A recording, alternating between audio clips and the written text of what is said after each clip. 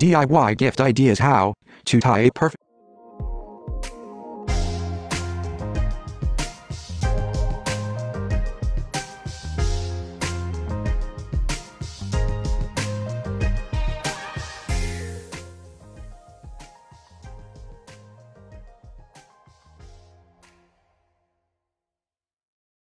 hundred point symbol ribbon ribbon bow for a gift.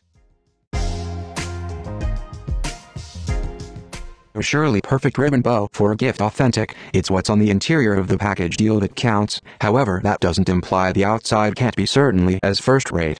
See within the video this pretty clean bow educational and step up your gift wrap exercise.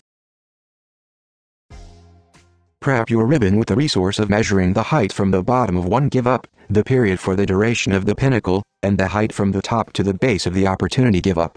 You'll need 5-6 normal lengths to tie the bow across the package deal deal. Find the middle of the ribbon by using bringing the two ends together and dividing in 1 2.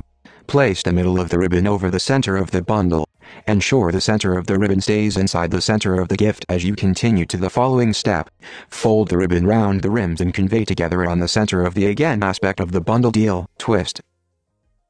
Find the middle of the ribbon by using bringing the two ends together and dividing in 1 2. Place the middle of the ribbon over the center of the bundle. Ensure the center of the ribbon stays inside the center of the gift as you continue to the following step.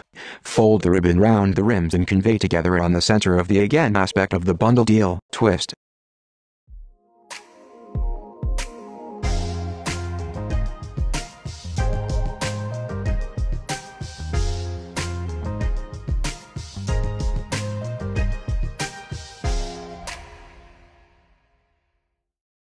Tie a knot throughout the vertical ribbon. Take the two unfastened ends and tie in a bow with the aid of first mentioning one lead to a loop, pinch at the base, and produce the opposite ribbon spherical underneath, and through the loop. Pull taut. Take the two loose ends and tie in a bow by first sighting one cause a loop, pinch at the bottom, and bring the other ribbon around, below, and through the loop. Pull taut.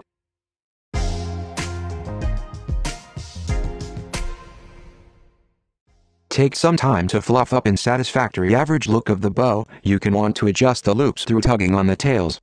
If you actually need to get fancy, clip the tails with the resource of folding them in half of and trimming it upward mindset.